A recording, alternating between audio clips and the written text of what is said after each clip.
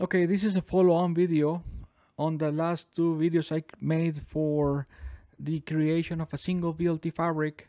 I am at the Dell site called Fabric Design Center. The address is fdc.dell.com. Once you create an account and um, you are able to log in, it's going to give you the terms of use. And once you go in there, uh, it's going to give you a tool some type of a wizard that is going to help you to create uh, a network. So in this case, uh, I don't want to get too carried away. It's a lot of information here, but basically you can do a turnkey solution.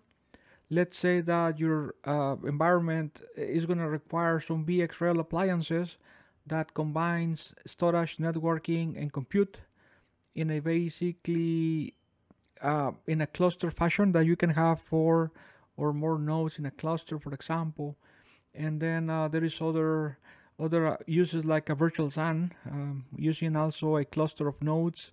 PowerStore, which is also a another way to do a uh, a iSCSI type of storage, shared storage.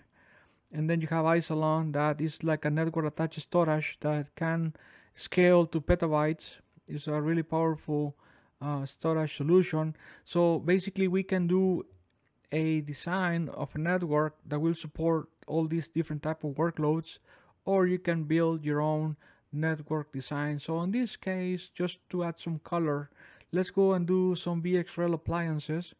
Uh, we're gonna select that VxRail fabric and then we're gonna go ahead and add a workload.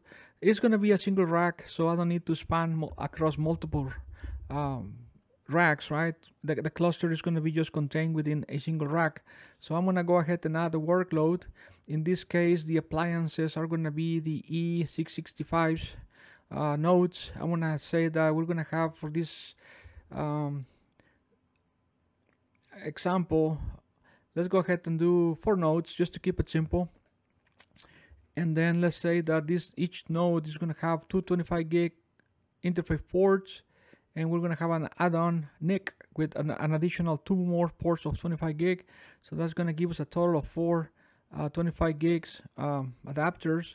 And these are some of the the VLANs that will be needed for um, the VxRail to operate right? The, the VLAN 101 for the VxRail management uh, bond zero which is going to be one of these uh, these two uh, vmnic 0 and vmnic 2 and bond 1 vmnic 1 and vmnic 3 and that's and, and then here for VLAN uh, 102 and 103 in bond 1 is going to be for vSAN virtual SAN and for also for vMotion being able to move uh, VMs from one host to another. Uh, very powerful tool and then you can add more VLANs as needed uh, for your project.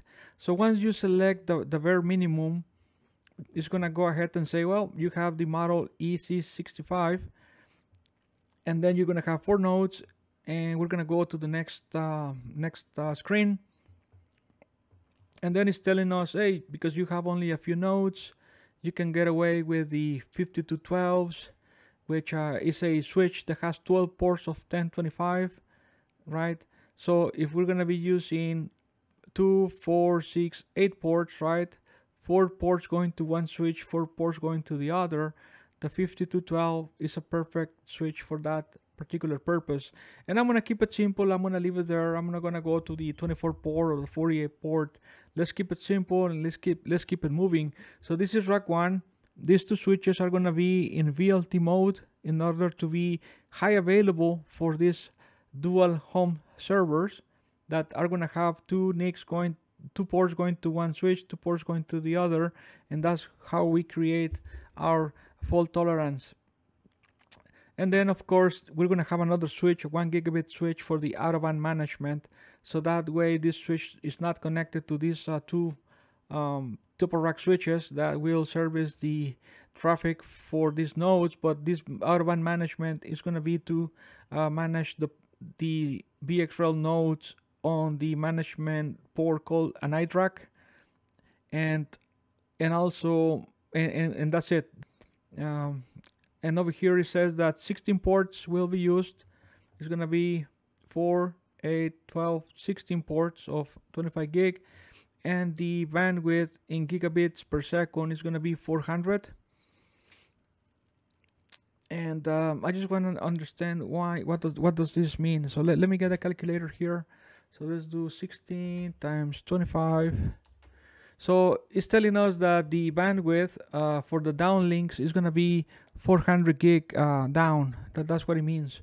So if we move if we move over to the next uh, tab which is going to be the network view this is going to give us a logical a logical representation of the selection we made with the four nodes uh, VxRail. Uh, it has the the, the four, um, it's just showing one just to minimize the number of cables, but it's actually um, the, the pair of two ports going to one, two ports going to the other. And this is the VLT that we talk about in the example I gave on the configuration of using the CLI. These are the, the, the, the VLT links. And, uh, and then you have an option to connect to another another network, whether it's layer 3 or uh, layer 2. Over here the legend says the VLT MC lag, right? We call it VLT. Cisco call it VPC. Then you have the port links, etc. So let's go to the wiring diagram. So on this uh, Dell Fabric Design Center, you're going to be able to go into the next tab, which is the wiring diagram, and you can dive in into the first switch, for example, and it will give you like for example a recommendation like okay so let's say that you have node uh, let's look at node. Let me see. Okay so that's node 2 that's node 4 and then on the other side you have node node 1 and node 3 okay? And uh, okay so so that, that that is right. And then um, this uh, ethernet let me see if I can find and these two ports right here are gonna be for the VLT it's gonna connect to the VxRail Fabric Leaf 2 Ethernet 15 uh, and this is going to the Leaf 2 um, Ethernet port 14 so these are gonna be the two VLT links and these others are gonna be the um, the, the, the the VxRail node um, uplinks. In this case uh, these are the downlinks right? So let's go ahead and close uh, this one so if we look at leaf number two, yeah, we're gonna have the same thing here. Now the VxRail leaf uh, one is gonna say that it's going to the leaf one instead of leaf two, right? Because this is leaf two, is going to leaf one. So these are the VLT ports, and these are the ports for the VxRails. Now, one cool thing about this is that you can export this and you can download it as a PDF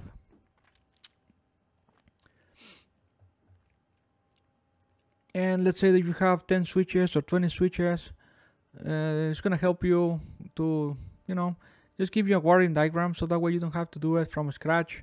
So so as long as you do a standard configuration you're gonna be able to to take advantage of these uh, these tools okay? So let let's see if it's on the downloads. Yeah it's right there. So let's open it. And this is how it looks like in a PDF format. You can zoom in and see the, the two switches. That's very basic. So that's something nice to have. So let's close that. Uh, let's see what else we have here available. Let's go to the next tab. So this is the bill of materials. And uh, you can choose whether you want to use copper cables or you want to use um, transceivers, optical transceivers. Uh, I'm not going to get into those details, but there is something that you can tweak by editing, right? The type of connections you want to have. And uh, uh, so just to keep it simple, we have two switches here in this bill of materials. We have the type of power cords that are by default. You can change this to the PDU style. And then it says that we have a couple cables for the VLT. In this case, these suckers are one meter. You can do it 0.5 meters if they're going to be close to each other. Um, if they're going to be, you know, you're going to have a little gap in between them. I don't know why, but then go with the one meter and then these are the Twinax cables, copper cables that for the downlinks to your VxRail appliances. So in this case, you have 16 cables of 3 meters, just in case the four VxRail nodes are to the bottom of the rack, for example. So that, that's a, that, that's cool. You have that bill, of materials that account for 16 cables. Uh, for external connectivity, I didn't really specify, but it just give me an option that if I want to connect to another network, I can use this 25 gigabit SR transceiver. So this can be 10 gigabit um, gigabit Ethernet transceivers to connect to another network, or a one gigabit um, gigabit transceiver, which is going to be a choke point.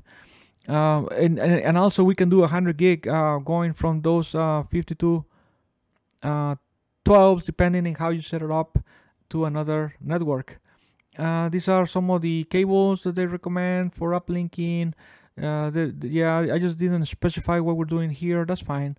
These are the server, server models, and then it's telling us that we have the out-of-band management switch, which is the N3248E, which is a, a switch that has 48 ports of 1 gigabit base T and four SFP plus ports. For example, we can put the ports toward the back of the uh, toward the back of the rack using the power supply to I/O panel airflow, meaning that the ports in this fashion, eh, they're going to be on the back of the rack in line with the servers.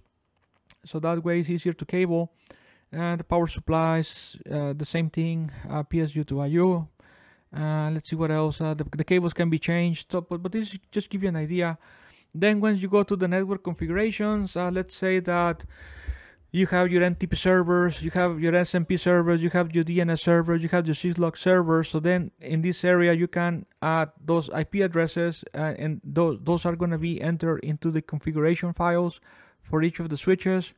And uh, so that's pretty cool. That's another good thing that, that you can do. This is an example of a management subnet.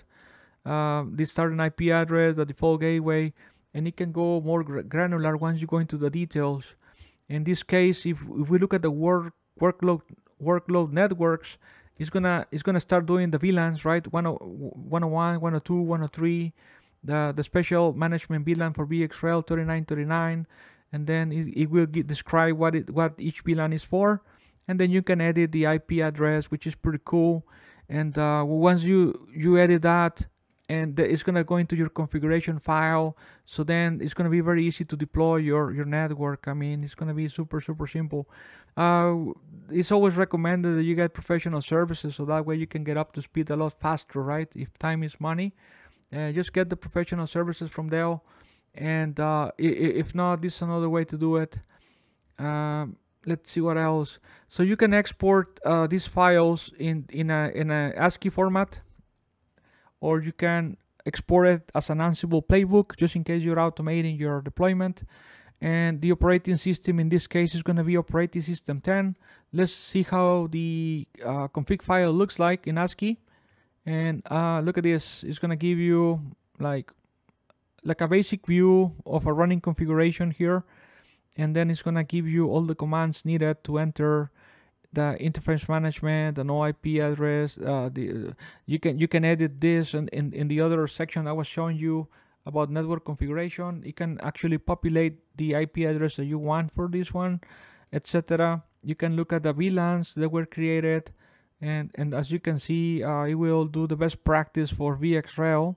So that's one of the advantages of going with the Dell OS 10 switches and the Dell uh, VxRail appliances and PowerScale and all the Dell technologies for storage, for compute, for hyper um, hyper converged systems because then it's gonna just install the best practices for each of the ports.